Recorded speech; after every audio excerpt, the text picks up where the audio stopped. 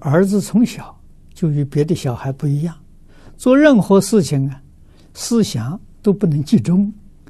近年来又发现他非常胆小，不能够与正常人交流和交往。现在用什么方法帮助他？可否读诵《地藏经》啊？回向给他本人和他的冤亲债主。可以这样做。那么遇到这种情形，实在就是，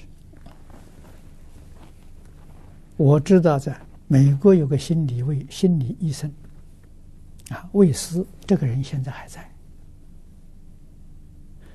他用催眠的方法治过像这种病症的人。在深度催眠，让他能够回到过去式，在过去式，啊，过去式呢，他所接触的那些环境，影响了他这一生。如果他都通通清楚明白了，这问题立刻就化解了。啊，所以你有机会的时候，可以。可以跟这个魏斯博士联系，啊，心理医生。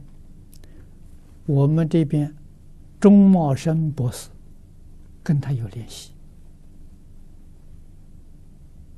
啊，你可以请教他的时候，啊，能够有机会呢，最后到美国去让他做一次这个催眠的诊断。